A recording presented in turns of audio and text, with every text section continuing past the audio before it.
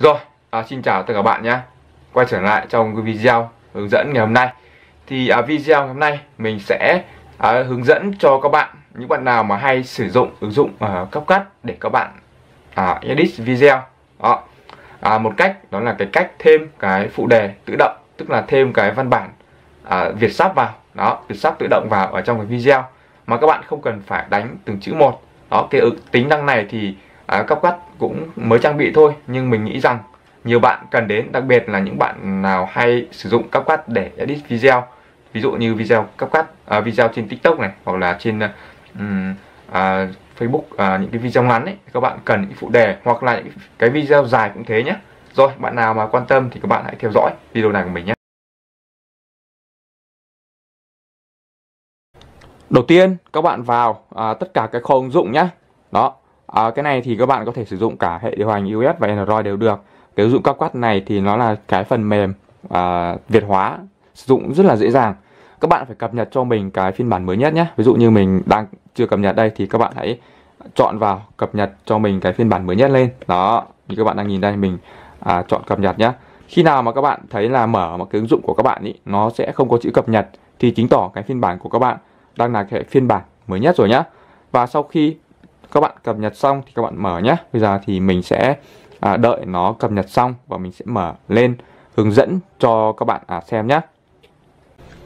Rồi à, mình đã cập nhật xong và các bạn chọn mở lên cho mình nhé. Đó. Thì tại giao diện của cái ứng dụng CapCut này thì nó cũng rất là đơn giản thôi. Đấy thì các bạn nó chỉ có cái dấu cộng à, to đùng ở giữa này là cái phần thêm cái phần video của các bạn vào nhé. Bây giờ mình sẽ chọn vào. Nó sẽ đưa đến các bạn một cái thư viện và các bạn chọn thêm vào cho mình nhé. Đó đây chính là cái video mà mình muốn à, thêm cái phụ đề tự động vào. Đó đây mình sẽ zoom gần một chút. Đó thì mình sẽ bật tiếng cho các bạn này. Xin chào tất cả các bạn nhé. Rất vui khi được uh, Đấy. các bạn trong video tiếp theo cái này thì hiện tại thì nó chưa có phụ đề nha các bạn nhé. Nó chưa có phụ đề. Đấy thì các bạn à, để thêm được cái phụ đề những cái chữ mà chạy chạy ở đây này. Đấy giống như cái chữ mà karaoke ấy. Đó các bạn nhé. Giống kiểu uh, chữ chạy uh, karaoke ấy thì cái này thì các bạn sẽ chọn như sau. Các bạn sẽ chọn cho mình vào cái phần là văn bản nhé đây các bạn chọn cho mình phần văn bản này. Đó. Và ngay cái phần à, văn bản này các bạn nhìn đây đó nó sẽ có cái phần là à, phụ đề tự động nhé đấy hoặc là lời bài hát tự động. Đấy các bạn hãy thử hai cái tính năng này. Đấy thử tính năng mới này để tạo những lời bài hát tự động. Còn nếu mà các bạn à, phụ đề bình thường ấy thì các bạn chỉ còn phụ đề tự động bình thường cho mình. Đó. Ở đây nó sẽ có ba cái phần như sau. Đầu tiên là phần cả hai, phần lồng tiếng và phần âm thanh gốc. Âm thanh gốc là như thế nào? Âm thanh gốc là những cái âm mà mình nói trực tiếp ở trong cái video. Các bạn không cần phải chèn những cái âm thanh khác vào. Còn những cái âm lồng tiếng này là cái âm mà mình lồng vào, ví dụ như cái phần lồng tiếng ở trong cắp cắt ấy. Đó, các bạn có thể tham khảo nhé, mình không nói sâu. Ở đây thì mình dùng âm thanh gốc. Và tiếp theo, chọn ngôn ngữ. Các bạn có thể sắp ra chữ nào cũng được. Nó có tiếng Việt, tiếng Anh, tiếng Nhật, rất nhiều tiếng nhá. Nhưng mà mình, người Việt Nam thôi, mình sẽ chọn cho mình là tiếng Việt, đó. Và các bạn chọn cho mình là cái phần bắt đầu nhá. Ok, bắt đầu. Các bạn đợi nhá, nó chạy phần trăm như thế này, tùy theo độ dài ngắn của video cũng như là chất lượng của video, thì nó sẽ à, đưa ra cho các bạn cái phần phụ đề. Đây, như vậy là ok rồi nhá. Đây, mình tắt cái này đi đã. Đấy. Đây, khi các bạn chạy này, đấy, các bạn nhìn chưa? Nó sẽ có những cái chữ này đây, mình sẽ cho các bạn xem này. Nó sẽ có những cái chữ này này. Đấy, bây giờ mình sẽ cho lên một chút này đấy, cái chữ trắng trắng ở giữa này này. Đây. Đấy. hiện tại thì phông nó là phông mặc định nhá. Đây, ví dụ mình chọn một cái phần đấy chẳng hạn. Nó sẽ có cái phần là chỉnh sửa này, có cái bút chỉnh sửa đây này. Đấy, nó sẽ có cái bút chỉnh sửa đây này. các bạn sẽ click vào cái phần bút này. Đấy. Đấy đấy. Và nó sẽ có những cái mục, ví dụ như phông chữ này. Các bạn chọn phông chữ nhé có rất nhiều những kiểu phông chữ khác nhau đây các bạn có thể chọn này. Chọn theo cái à, phù hợp với cái video của các bạn. Đây ví như này, này chẳng hạn diễn viên này tiên nữ này. Đấy các bạn sẽ chọn lên. Đấy hoặc là gạt sang nhé gạt sang gạt sang. Đấy đây các bạn này. Các bạn thích cái phông chữ nào? Ví dụ như mình chọn cái phần là nền tảng này chẳng hạn. Đấy thì chữ ở đây nó hơi bé nhé các bạn nhé. Mình à, à cái bởi vì cái phông chữ nó rất là nhỏ các bạn có thể phóng to lên. Đấy và phần phong cách này phong cách có cái phần chữ in ấy đấy. Phần à, viền này đây những cái này này đấy. Hoặc là mình chọn những cái này chẳng hạn đấy. Đây mình à, có thể mình phóng to cho các bạn này đây xin chào tất cả các bạn này các bạn nhìn chưa? Đấy thì mình chọn cái này nhé. Tạm thời mình chọn cái này cho các bạn dễ nhìn nhá đấy. Rồi đây mình chọn cái đấy cho các bạn dễ nhìn nhá đó. Và các bạn sẽ chạy này. Các bạn khi các bạn chạy nhá mình à, nếu mà giọng của các bạn chuẩn ấy âm thanh tốt ấy, không bị ảnh hưởng bởi tạp âm ấy thì nó sẽ rất là chuẩn nhá. Đây đấy.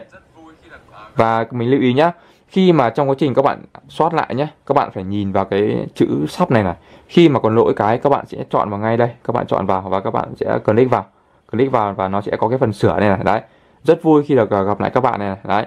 Ok nhá nó cũng chuẩn nhá chủ yếu là cái giọng của các bạn nó phải chuẩn âm thanh phát âm chuẩn thì à, 100% nó sẽ ok nhá. Đấy gặp lại các bạn trong video tiếp theo Đấy.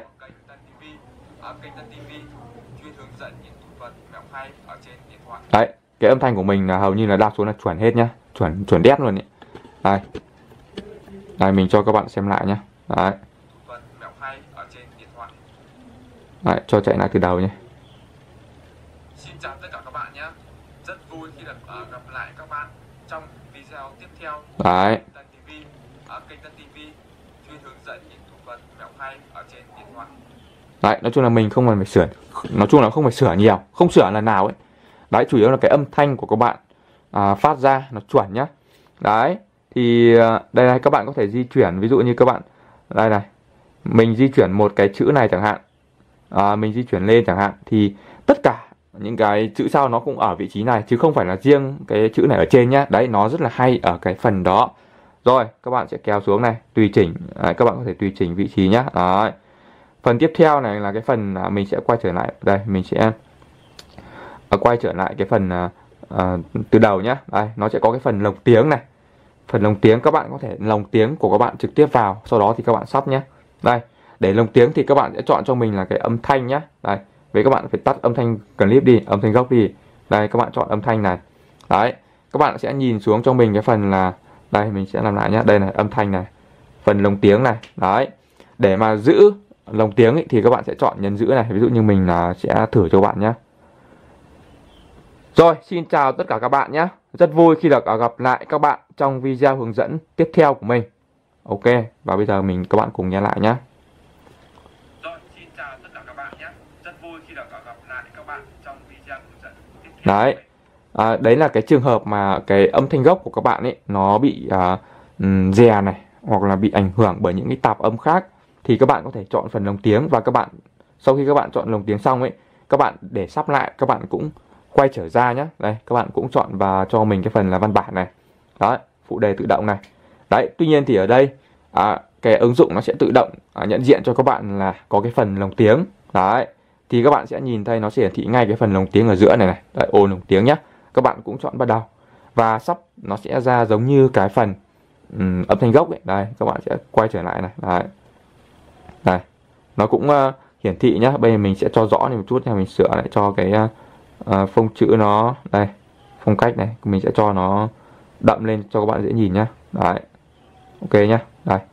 Mình sẽ zoom lại này.